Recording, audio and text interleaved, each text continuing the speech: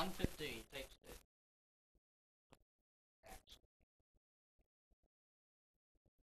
I've used in my writings pretty well everything that has happened to me in the course of my life.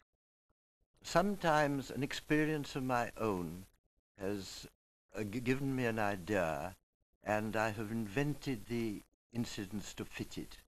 But more often I've taken a people I knew, either slightly or intimately, and used them as a foundation for characters of my own invention. To tell you the honest truth, fact and fiction are so intermingled in my work that now looking back, I can hardly distinguish one from the other. In my twenties, the critics said I was brutal. In my thirties, they said I was flippant. In my forties, they said I was cynical. In my fifties, they said I was competent. And then in my sixties, they said I was superficial.